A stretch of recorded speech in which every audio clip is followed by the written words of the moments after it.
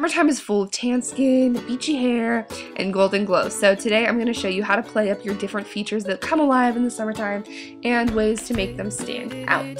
So let's get started. First, this is a pretty basic thing, but just concealer. I didn't want to skip this because it's important to me, so I'm using MAC Studio Sculpt, under eyes and spots, and then I'm using a tinted moisturizer. This is the COOLA Mineral Face Sunscreen with a tint, so it'll even out your skin tone, and it has SPF 20, so that's awesome, and make you kind of glow. And I'm setting all that with a little bit of powder. This is Rimmel Stay Matte, just because I don't like to look too shiny.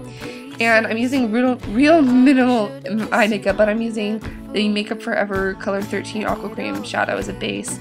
And then I'm going in with the BH Cosmetics eyeshadow palette. There's a California collection. It's really cool.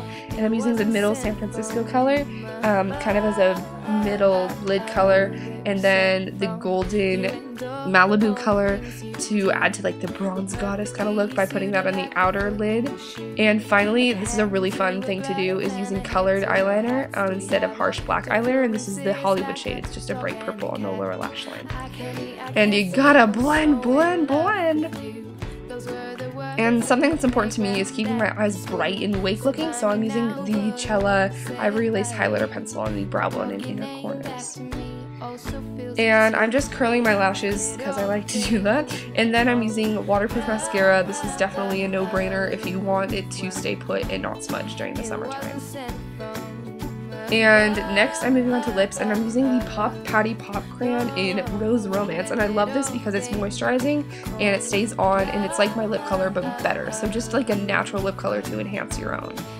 And don't forget to smell good, boys and girls. This is Salt Air, and it is a really cool perfume because it's like the good scents of the beach. Not the bird poop, but the nice kind of salty air, you know, like the name. And next for hair, this is awesome because especially in the summer, if you live in a humid area or something, your hair can get really frizzy, but this is the Big Sexy Hair Weatherproof Spray to keep it from frizzing up and getting like bad in the humidity. So that is the look there.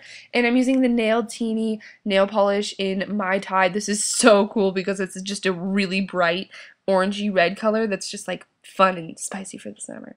So those are some of my tips on how to you kind of accentuate your summer looks. I hope you guys enjoyed and I'll see you next time. Bye!